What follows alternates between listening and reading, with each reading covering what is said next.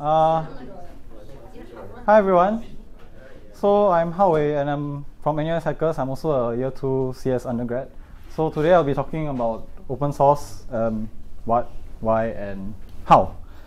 So let's start off with. Um, do you know any of these projects? I'm sure you should know at least one. Um, VS Code is open source, yes, of course. Um, we have Node.js. This is Thunderbird. Uh, okay. NUS Mods, that is Linux. Android open source project. Inkscape. IntelliJ IDEA. Yes, IJ IDEA is open source. You can contribute to it. You can, in fact, Android Studio is built on top of IntelliJ IDEA, partly because it's open source, I guess. Uh, VLC, Firefox, Chromium, not Chrome, Chromium. Yeah, LibreOffice. Uh, and the last one, GIMP. Notepad. Yeah, GIMP, yes. Uh, no. GIMP. Yeah.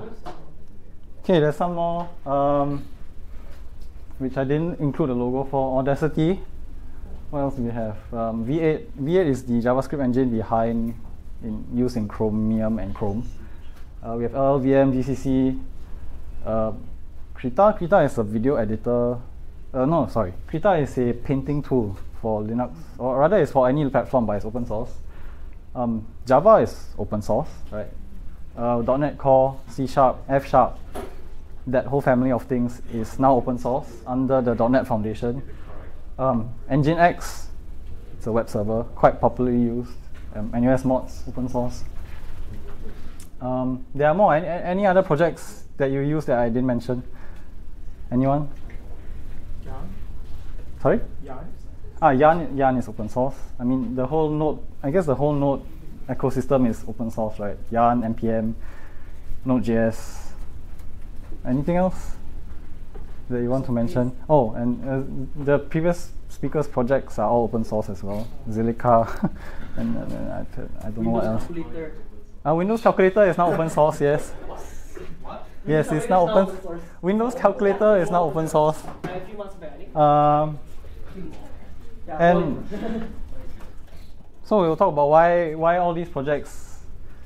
Okay, these, these projects started off as open source, but you might mm, some of the reasons I mentioned maybe later will be why you know a lot of companies are starting to open source. Like why is Microsoft suddenly so invested in open source after decades of attacking open source and saying that oh it's the worst thing ever, and now you know after they change CEO suddenly hey.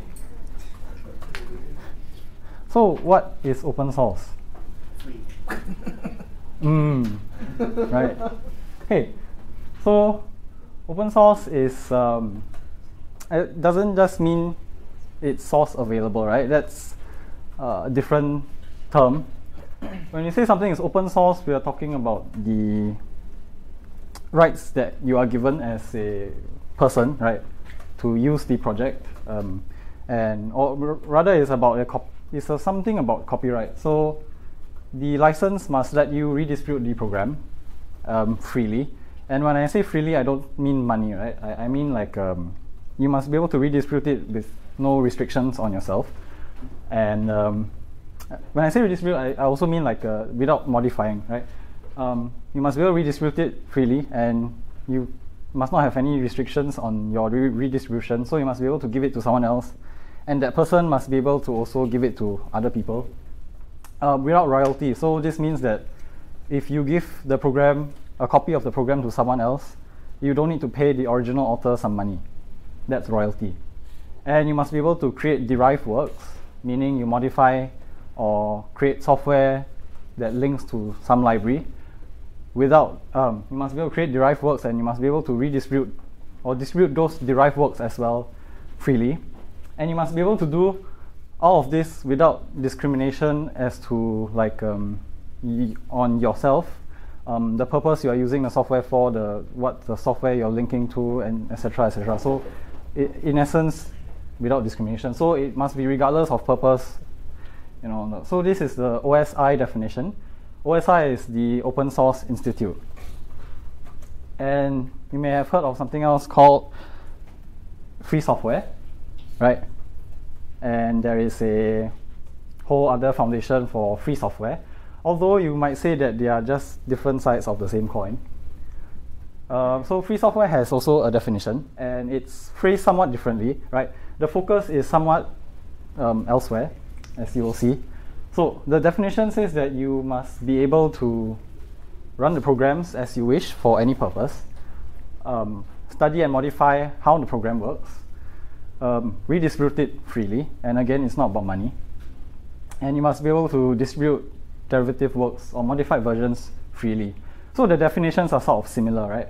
And, and again, this is the FSF or Free Software Foundation definition. So what's the difference? Open source is about the development process. It's about how the software is developed. And yeah, so that, that's mainly the focus. You must be able to look at the source, modify the source, modify the program. Um, so that's more, that it's, in some ways, it's a less strict definition. In other, in, in other ways, it's also more strict than free software, depending on how you look at it.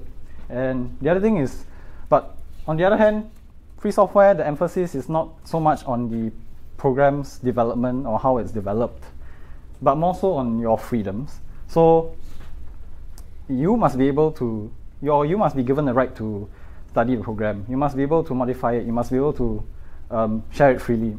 So it's about your freedoms. And as a, as a consequence of having to have those freedoms, uh, you must also have access to the source uh, in order to say, modify and study how it works. So again, it's sort of some you know different sides of the same coin, but there are some differences here. For example, um, you all know what the firmware blobs are, for example? For example, if you have, um, so let's say you have a driver for a Wi-Fi card. Let's say your Intel Wi-Fi card in your laptop. Um, there'll be a driver for this Wi-Fi card, right?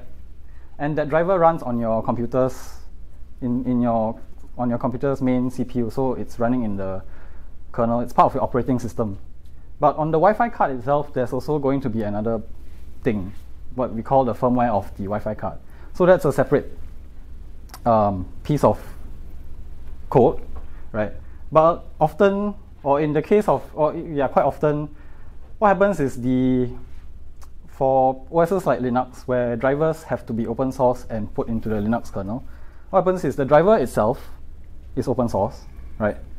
Um, and you, you can modify and so on. But the firmware blob, we call it a blob because it's just a hunk of code that you don't really, you're not really able to look into. The firmware blob itself is proprietary. It's provided by the vendor, and they can't, uh, you can't do anything to it. Right? You, you just take that whatever the vendor gives you and you send it to the Wi-Fi card to be loaded.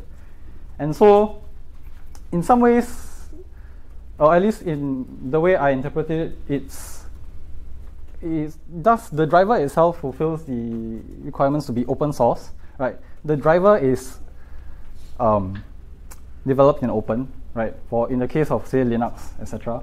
But the driver may not be, or rather, people who are focused on free software may have some qualms or issues with using this driver. Because the driver, although it's open source, uh, a lot of the functionality of the Wi-Fi card as a whole depends on what's in this firmware that is sent to the Wi-Fi card. And the firmware itself, it's not open source. You can't modify it, you can't study it easily. And so that, that sort of, that's an example of maybe the difference between open source and free software. Um, I won't really talk about the philosophy too much in depth. This is, I think, as much as I will go. Um, but you know, there, there are some projects like, um, for example, there's this project called Linux Libre, L-I-B-R-E, right? And they they are strongly they strongly believe in free software. So what they do is they take the Linux kernel and they strip away all the parts that are um, not free, non-free as they call it, meaning uh, they'll strip away all the drivers that um, require uh, closed uh, firmware, right, and things like that. And so there are people who people who believe strongly in um, free software, they will use they may use Linux Libre. I mean, yeah. So hopefully that, that, that gives a clear understanding of what the difference between these two uh, terms are. It's but for all practical purposes, unless you really believe in um, Libre and uh, the, the, the ability to study or what your computer is doing, um, they are the same thing for most practical purposes. Although some people will probably disagree with me, like uh, Richard Stallman probably, right? Um, so Richard Stallman is the person who founded the FSF, Free Software Foundation, and of course he's strongly for free software, and he's sort of against open source. So um, open source is actually came from um, so uh, some background on their creation. Open source came from Debian. If you heard of it, it's a Debian, um, it's a Linux distribution, and they have this thing called the Debian Free Software Guidelines for what they to classify software that they consider as free software. So, um, if I remember correctly, the Free Software Foundation came first, and then Debian wrote their DFSG, Debian Free Software Guidelines, without really looking at what the Free Software Foundation did. And because the, because it's the Debian project, it somehow got more popular than what the Free Software Foundation uh, popularized, or what the Free Software Foundation put out. So the FSF got a bit upset at Debian. And so open source, OSI's definition comes from the DFSG. And so it's sort of like two camps. They are like working at the same thing, but they have di disagreeing views. But anyway, that doesn't matter. You can read more if you're interested in all this philosophy. And um, the other thing is that, uh, of course, which I, have mentioned already, but free is not about money, right? It's about freedom. So they say free as in speech versus free as in beer. You have free beer and free speech. The first is about free beer is about your getting beer without money. Free speech about your freedom to, you know. So the free here is about freedom. So you can have companies that um, you, you can charge money for free software. You can charge money for open source software you can charge money to work on or do something to open source software. You can, yeah, it, it's not about money. So you can always charge money for it. And there are companies that are that, that have done very well um, just selling open source software. So if you heard of Red Hat Linux, right? Red Hat Enterprise Linux, it's a enterprise distribution of Linux. So it's meant for corporations that want to use Linux. And their selling point, of course, is that they provide support, right? Um, what, what a lot of open source projects lack is like guaranteed support, uh, where the company, if something goes wrong, the company can say, okay, I go to you and ask you for help. If you're an open source project and you are volunteering, you, you voluntarily contribute, you, you won't have, you, you won't provide any guarantees to whoever's using your software, right? Uh, you won't say, I guarantee that my software will work. But so Red Hat does that. Uh, that's their selling point. So they sell this thing called Red Hat Enterprise Linux. But Linux and a lot of the software around Linux is open source, right? And so you might wonder like if Linux is open source and Red Hat is selling Linux, then what's stopping me? Let's say someone let's say I buy Red Hat Enterprise Linux, right? Now, because it's open source, or rather Linux and all the software or a lot of the software around it is open source, there's nothing stopping me actually from um, in theory lah, there's nothing stopping me from just buying that Red Hat Enterprise Linux, and then I get the copy of the software, right? Um, the binary and the source code, and now I can redistribute it for free because that's what the license, that's what open source license let me lets me do. So how does Red Hat Enterprise Linux? Um, how does Red Hat keep a profit? So that's here. Here we have to talk about copyright versus trademark. So um, open source and open source licenses and um, you know free software licenses generally talk about the copyright uh, you have the license to redistribute things. That's copyright. Um, what Red Hat does is they have their trademarks. So Red Hat is trademarked, and they have those trademarks in the software that they sell. So you cannot um, redistribute their, you cannot sell, give copies of their software because it contains their trademark. It's not so it, it's still open source. It's just that you can't redistribute it because it contains their trademarks and their branding.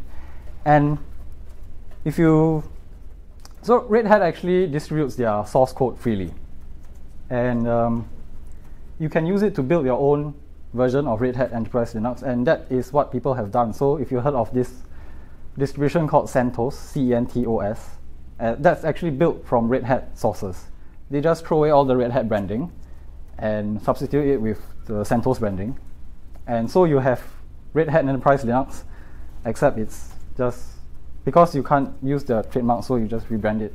So CentOS is free, you can use it, just that you go, of course, you don't get any support from Red Hat itself.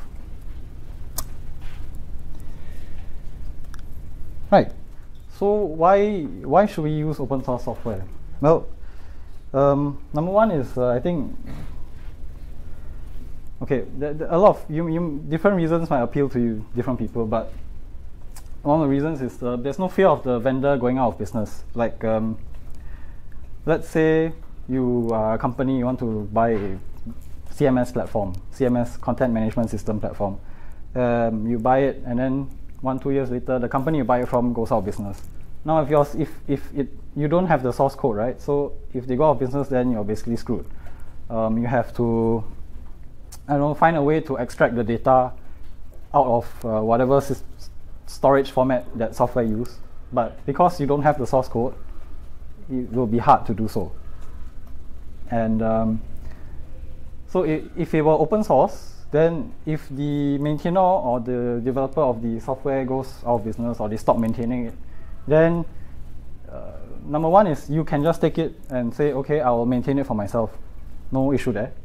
Number two is since it's open source, you can look at the source code, um, study how you know the data it stores its data, and then you can say you don't want to maintain this software, but at least you can look at how it stores its data, and you can easily um, take the data out and uh, convert it to some other format that you can then use for some other software, right?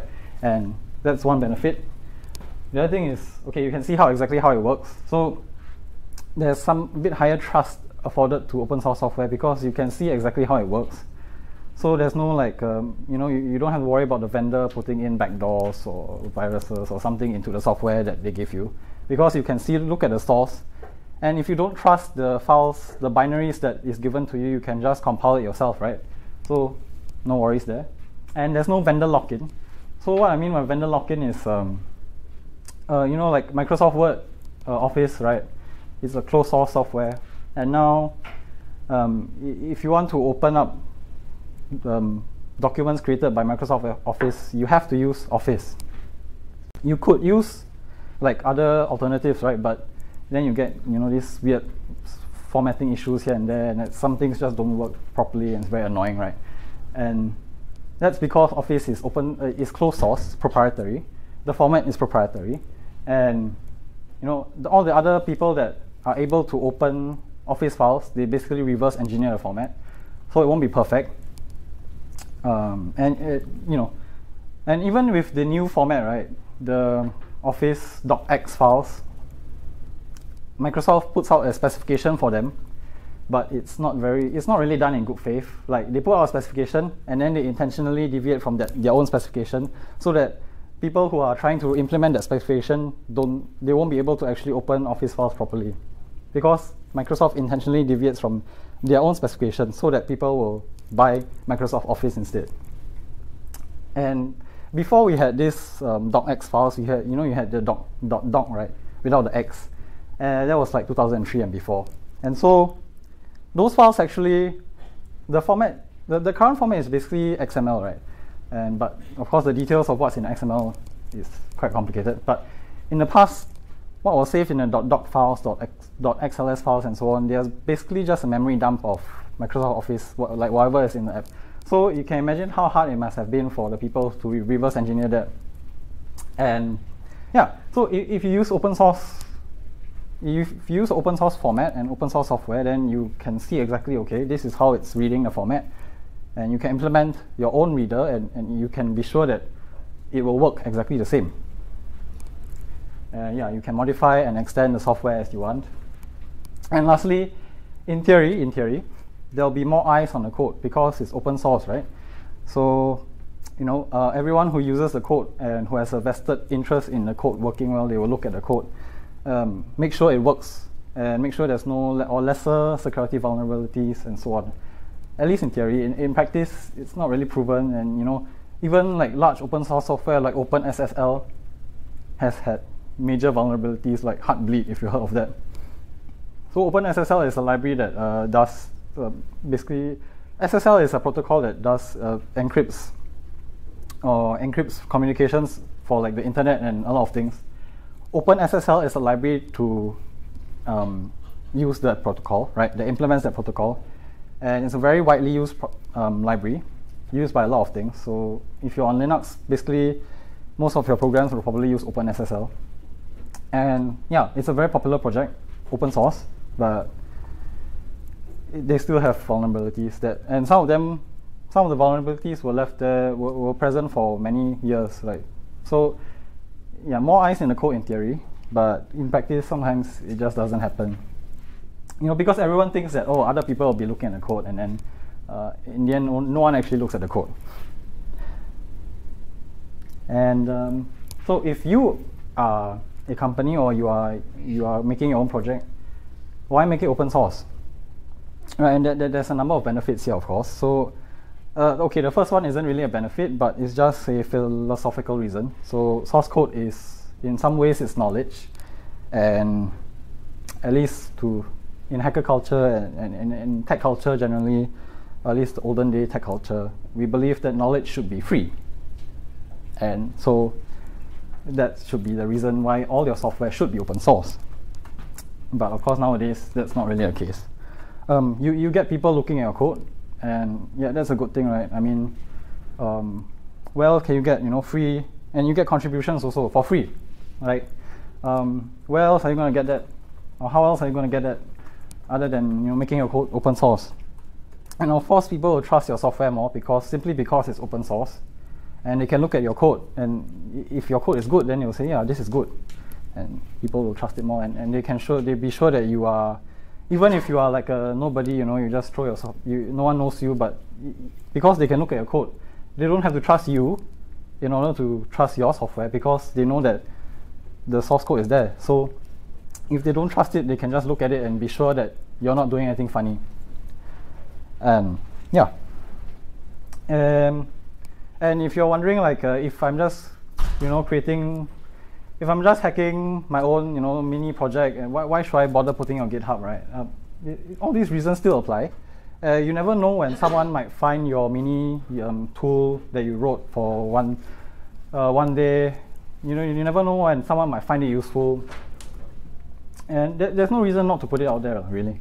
Um, you, you get to, and you know, if you put it on GitHub or wherever, like, um, you know, if you don't put it on GitHub, you might lose it one day. But if you put it on GitHub, it will be there forever. Someone might find it useful. Um, you know, someone might give you suggestions on how to do this better and things like that. And so there's no reason not to put things on, not to make things open source. And one of the ways to do that is to put it on GitHub with an appropriate license, of course. Yeah, open source and hacker culture. So I mentioned before, but open source partly originated from hacker culture, especially the yeah, especially in the, from in the olden days. So the like 1980s, 1990s period in, back then, a lot of software was open source, in, in, or rather, you didn't you didn't receive software in the form of binaries. You just got the source code, and you just compile it yourself. So you know there wasn't this thing of like oh proprietary software. I sell you this binary, you cannot share it with people. Um, people just shared everything freely. That was like back in the early days of computing. Yeah, and we and both open source and hacker culture emphasizes heavily the freedom of knowledge. So we, we believe that knowledge should be shared freely, and th there's no reason to say, oh, you must pay me money so that I show you how to do this. No, you, you just share whatever you know, you share freely. Right. So now we move on to the how part. So how do you make your software open source, right? Um, well, the first thing is to choose a license. So there's a link here, which um, yeah, it goes to this website called choosealicense.com. And this website is maintained by GitHub, so it, I think it's quite um, reputable at least. Or at least I haven't read anything that I think is inaccurate. Yeah, so there's like a, there's a more general guide here, um, simpler guide. But if you want to look at the um, a larger list of common licenses, then you can go here. Yeah, so this is choosealicense.com. Right, so you have to choose a license. first. And now, before I go on further, I must say I'm not a lawyer. So if you need to do any, if, if you're worried about this, please just ask a lawyer who specializes in um, open source and software licensing. Right. And so now the question is, do you actually need to license your software, right? What if I just throw it on GitHub with no license? Um, so the answer is that if you do that, then uh, by right, by under copyright law, uh, no one can do anything with your program because although you've put it on GitHub, and people can actually like they have the ability to go and click and look at the program and use and download and use it, but under copyright law, you haven't given them the license to do that. So if they do that, actually they're viol- they are viol- violating your copyright. So if you if you really want to do, if you want to open source your projects, uh, you, you should just at least throw in a license saying that oh this is MIT or whatever, if you don't care lah. Uh, because um, especially you know if you ever see people if, if you ever put some project on GitHub and someone opens an issue saying uh, can you please put a license there, uh, this is why because if you don't put a license there, under copyright law you can't do anything with it, or, or rather other people can't use your software for anything.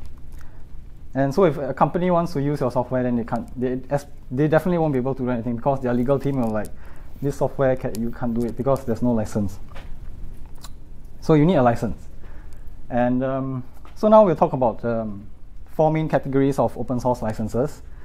Uh, th- this is sort of my own categorization. So um, most people will just categorize it into just copyleft and permissive, right? And these two are just not there. Um, but I, I, I sort of see it as four categories. So first, we should talk about what is copyleft. So this is quite interesting. So copyleft comes from copyright. And so where does copyright come from, right? Um, copyright is copyright. So it's the right to copy, literally. So if you have the copyright or if you own the copyright means you have the right to copy something, right? Make dis- distribute it and share it with others. You have that. You, you own that right. And so the cool thing is copyright law lets you say that, okay, I give you the right to copy this, or I give you the permission to copy this, but you must you must adhere to these conditions. So if you're the copyright owner, you can say that. And so you can use or what copyleft is doing is using copyright law to say that, okay, um, I let you share this with others, but in return, you must also, when you share this with others, you must also let people, those other people share with other people. And so we have copyleft um, created from copyright law. It's actually quite cool. Um, you might say this is a hack, right? It is a hack of the copyright law, but it's a great hack. And so that's essentially this is what copyleft is. It's saying that um, you can you you can redistribute something and you can modify and redistribute your modifications, but you must also let other people do the same to whatever you redistribute. And so this ensures that software stays open source and knowledge is forever free. So now copyleft licenses. So these are licenses that basically implement copyleft. So the first one, um, very common license, I'm sure you have heard of it. A lot of licenses, uh, a lot of software are, is under the GPL. So GPL stands for the GNU, GNU, GNU General Public License. So the GPL, um, the GPL has very, it's a very large document actually. Um, there are many hairy details which I won't go into, but essentially the idea is that um, if you put your software under GPL, then anyone who uses your software, okay, they can use your software. If they want to um, modify your software, and then their modifications must also be under GPL. If they want to um, link to your software, means like you have a library, and someone else wants to use your library, then that person's software must also be under GPL or a, um, or a compatible license. And then there's this idea of compatibility, which I won't touch about, but it's basically whether these licenses uh, you can use them together. You can read more if you really want to go into the legal details, right? Um, there's a lesser GPL, which is basically GPL, but some exceptions so that people who want to use your library uh, don't have to be under GPL. This is mainly for libraries that, like, you know, um, possibly um, so that they, because there are some libraries that are concerned that if they use the GPL, then um, you know, companies uh, won't be will be afraid of using the library because they are scared that you know, then their the company software will have to be, um, become GPL, you know, and, and companies are kind of yeah, a lot of companies are actually scared of GPL for this reason. Because like any GPL code, any GPL code that comes in is, is like a virus, you know, then everything else starts to have to be under the GPL. And so the, there's the lesser GPL which sort of creates an exception for the case where you link. The thing is you just have a library and you have a software and your software can use this one, but your software doesn't have to be under the GPL. And this only applies for dynamic linking, uh, if you know what that is. So if you're statically linked, then the, the exception doesn't apply. You still have to be under a GPL or a compatible license. And then there's the Affero GPL. So this is a extension of the GPL to solve what we call the ASP loophole. So do you all know what ASP is? Um, you know what PHP is? Basically, okay. So ASP is a Microsoft language for creating web applications. Lah. So idea, the problem with the GPL was that you can have, uh, let's say you have a web application. You have a web application that is, um, or rather web service. So people can connect to your web service uh, over the network. And if your web service is GPL, now someone can take your web service source code, they can improve it, and then they can run their web service. So now the problem is that um, because people who connect to your web service or your modified web service are not really running the software directly, the GPL doesn't apply because you're not actually redistributing the modified version, right? So it doesn't apply. So to solve this loophole, the AGPL says that you must also provide the source code to people who can use your software over the network. Uh, so that sort of closed the AS, um, ASP loophole. That's what they called it. Um, yeah. So you might use the AGPL if you're developing like a network, a server or some kind of things like that to ensure that um, you know I can't just take your software and modify it and not share the source code again because I'm not redistributing the software, right? People can connect to it, but I'm not redistributing it. So the GPL doesn't stop that, but you can use the AGPL for that. Okay, then we have uh, partially partially copyleft licenses. So um, there's only one in this category that, that's common. Uh, it's the Mozilla public license. So I say I, I, call this sort of approximately equal to the, um, it's like the GPL, but it, it allows you to link freely. That means if I have uh, MPL, MPL library, and a company wants to use my library, they can use it no problem, even if their software isn't open source. They can also link it statically, which is fine, under the MPL, as long as they keep like the parts of, as long as they keep my library itself open source. So if they modify my library, then they have to also release the source to my library, but the rest of their program isn't affected. So I say that it's like the GPL except it minuses the virality upon linking. So I can take the MPL license software and link and combine it with other software without all the other software having to be GPL as well. So that's partial copyleft. So basically, it's still copyleft for the source code and the, the, like the code of the library itself, but it doesn't make everything else have to be GPL or whatever. So it's not as viral. So I think Firefox is under the MPL, I'm not sure, but it's by Mozilla. Um, yeah it's uh, not very common. Some people will just lump it together with um, copyleft licenses because it's still copyleft. It's just a bit less. Okay, permissive licenses. So permissive licenses are just, um, th these are very common nowadays. The BSD 2 clause, uh, BSD 3 clause, uh, Apache license, MIT license. I'm sure you heard of these, right? So these licenses basically say um, you can do whatever you want to the software just keep my copyright notice and the license notice, right? Um, the BSD 3 clause adds a non-endorsement clause. So basically, the non-endorsement clause says that um, if uh, if you use my software, you cannot say that I endorsed your project or whatever because you're using my software, right? Non-endorsement clause. And then Apache um, adds a patent license clause. So um, clause. So these two licenses were written in a time before it was established that um, software can be patented.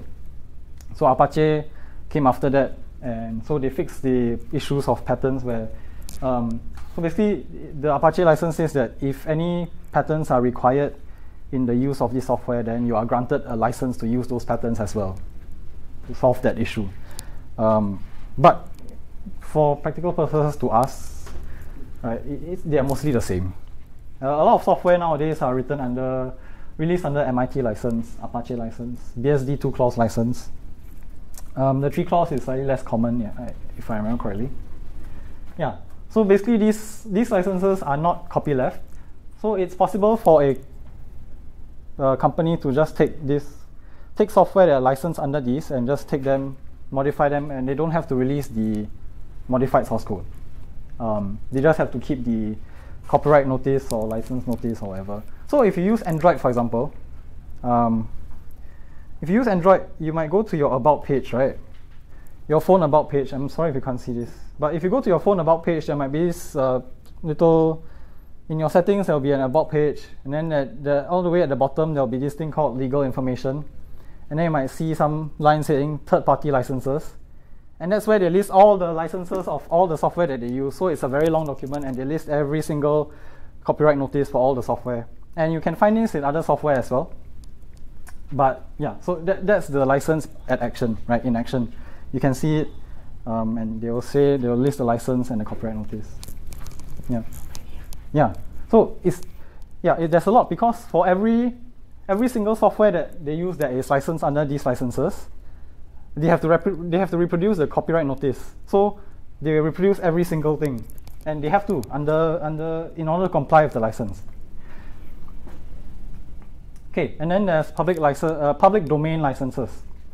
So uh, these are just these licenses basically say that you can do whatever you want, right? Um, you can just, yeah. So they are unlicensed. There's a CC0, and also there's the WTFPL, right? Um, I'm sure if you heard of it.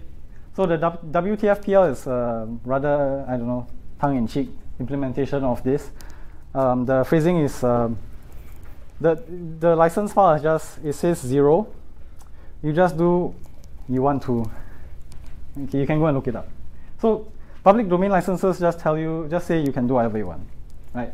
And you might wonder, sec, yeah, you might wonder like, um, is this different from just putting it in the public domain, right? Can you just say, oh, I put my software in the public domain? The difference is that um, in certain jurisdictions, like uh, European Union, there's no such thing as the public domain. So if you say you put your software in the public domain, it will work in like the US, but in the EU, um, that's as good as you haven't done anything. So if you really want to uh, say do whatever you want, then you can you should use these licenses instead of uh, instead of not using a license at all, and instead of saying public domain, so that um, in theory it should work in more jurisdictions. But again, I'm not a lawyer. Okay, so that's about licenses. And how do you make your software open source? Uh, oh yeah, okay, sorry. So the first step was to choose a license, right? And we covered the different types of licenses. And number two is to distribute your software under that license. So yeah, at the start, you know, if you look at open source projects, you might see something like that. At the top of every source file, this source code is or something something. The GPL or whatever will have a different header. So you just look at the go to the website for that license, and then they'll they'll tell you some they'll give you some instructions on how to use it. So they'll tell you you can you can put this at the top of your source code, right? And then you should include a license file along with your source code, which includes the entire license. So you can see this in like uh, GitHub repositories where there's usually a license file somewhere in the repository. And for me, I like to use the markdown versions so that if I click on the file in GitHub, then it is nicely formatted, you know. But yeah. Um, and then you should put somewhere in your program. So you can find this in like a lot of open source programs. So if you go to like this is Firefox. So if you go to there, they will tell you that oh this this program is say um, open source under the MPL, right? And and you can um, you can find this in other programs as well. So if I say GCC version, let me do that again.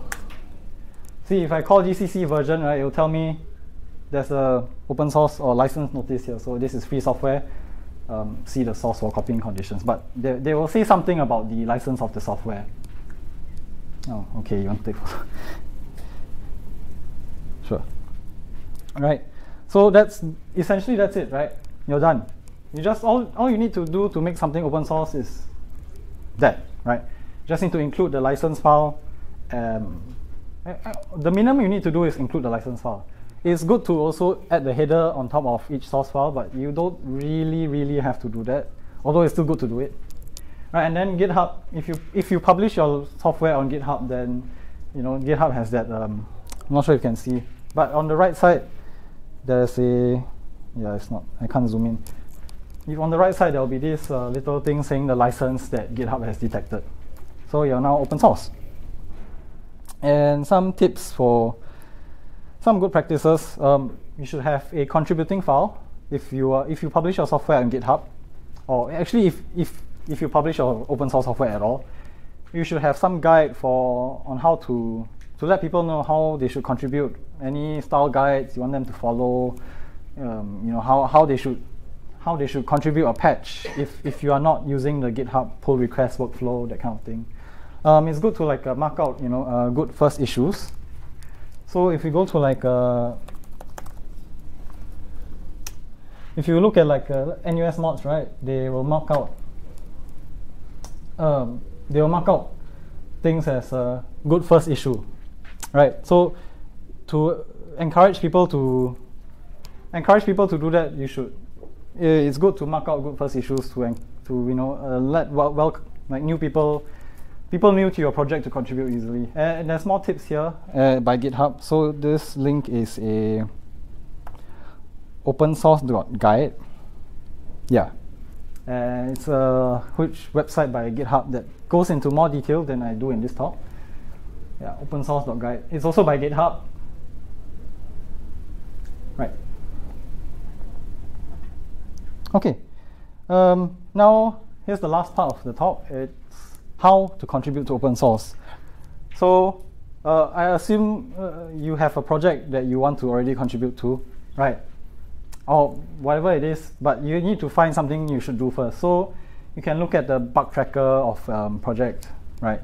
Um, just look at the bug tracker, or if you find a bug yourself, if you run into a bug yourself, just or if you have a feature in the project that you want, yeah, that's something you can contribute. Right. Then you need to set up the environment, right? So you need to be able to build the software in order to contribute. So usually large projects will have some sort of guide on how to get started. So I've here I have the Mozilla Firefox guide. All right, contributing to the Mozilla code base, and they have a very long, um, you know, uh, they tell you to first figure out how to build it, find something to work on, fix the bug, and then, yeah. But the important thing is to be able to figure out how to build the software and you know maybe learn what libraries, frameworks they use, and so on. This is more so for larger projects, so if it's just a small program, then uh, this shouldn't be an issue. La. Right, uh, do, do the thing, right? The, do your change, fix the bug, add the feature, and then figure out how to send the patch in. Right, not every project uses GitHub pull requests, um, especially larger projects, they have their own workflow and they have their own framework. Um, they have their own bug tracker, patch tracker, or if you're contributing to the Linux kernel, they use email. So again, look for the documentation. They, if they don't use GitHub, they will definitely have a guide on uh, how to submit a patch exactly. Um, again, this is the Mozilla one. Right, how to submit a patch, and they tell you yeah, they have a long document on telling you how you should prepare the patch, how their workflow works, things like that. Which again, I won't go into, because this talk isn't about Firefox, right? Um, yeah, so figure out how you should send the patch, and then send the patch in, of course. And now, I think a lot of people who are new to open source, they are a bit scared. Like, what if people judge my code? What if they scream at me? What if they think my code is not good? I would say don't be afraid, right? Um, yeah, don't be afraid of your code being judged. Um, you know, because ultimately maintainers want the best for their project, and they will be strict about the code that you are sending in, right? And it, it, they mean well, unless they are outright attacking you, right? They mean well. And you must make you, you must know that a lot of the people who you know a lot of people in the community are not native English speakers. So the way they respond to your or the way they give you feedback might come off as rude or harsh. Don't take that to heart because they are not they may not be English uh, native English speakers, so they might not know they, they might not know that they're being rude. You know, so just take the feedback, fix it, you improve, and you help the project. Right. So send the patch. And of course, if they raise any issues, don't defend yourself, right? Uh, especially if it's stylistic issues, you know, just just fix it, um, and then you're done, right? Then you get the, you know, if you if you're in a bug tracker, then you'll be assigned to the bug, and then after that it'll be fixed. So cool, the bug is fixed by you, and your name will be forever in the commit history of the of the project, and that's nice, right? And the other thing is that uh, code code isn't all that you can do, right? Um, I think maintainers appreciate documentation a lot because especially for those smaller projects, they don't have time to write great documentation.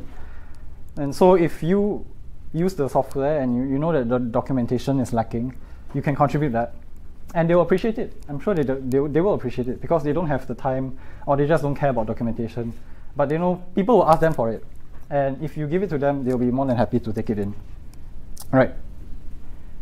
And so last thing is why? Why should you contribute to open source, right?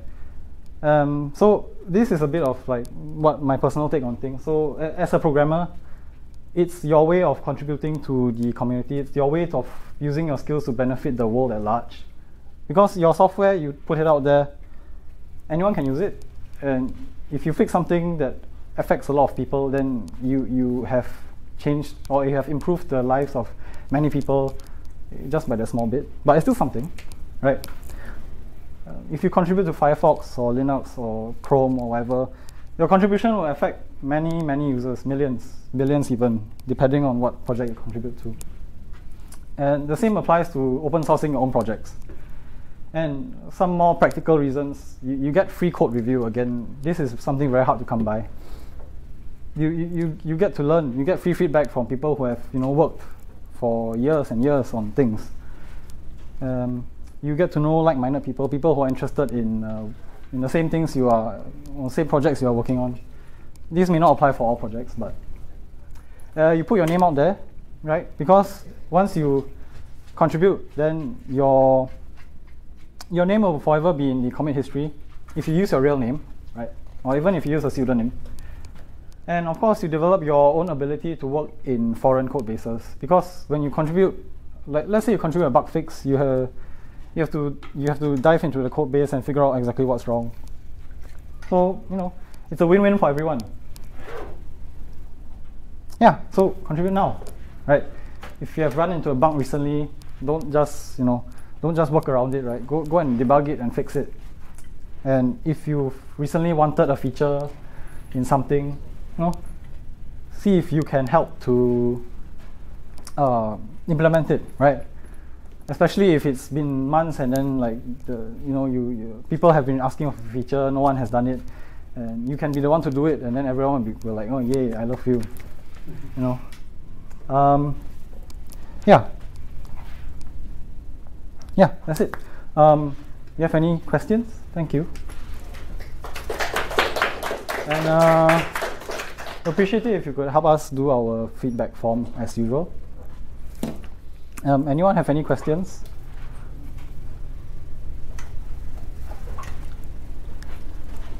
What license do you use? Uh, so in the past, I used GPL v3 a lot. Then after that, I started to use MIT and BSD2 clause. But I think if I were to create a new project nowadays, it would probably be MPL because I still want I still I don't want people to take my stuff and you know and, and then improve it and then like it, becomes proprietary but at the same time I don't want people to I don't want companies to be worried about using my project because it's under the GPL so I think the MPL MPL is a good balance between copyleft and permissive. But then again, MPL I'm not I don't think it's very popular, so it may not be as widely um, tested in courts. So I, I mean, open source itself hasn't really been tested in courts actually, as far as I know of. So, yep.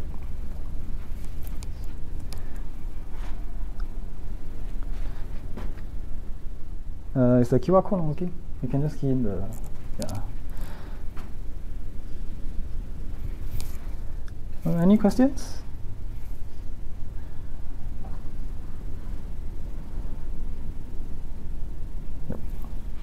Was something I wanted to say, but I forgot. Uh, do, do you all want these slides? Yes. Yes? I was a bit concerned because I have like all these logos at the front, you know, and then like I, I don't know if I'll run into trademark issues. Okay, but maybe I'll just remove the logos, okay? Give me a moment. Uh.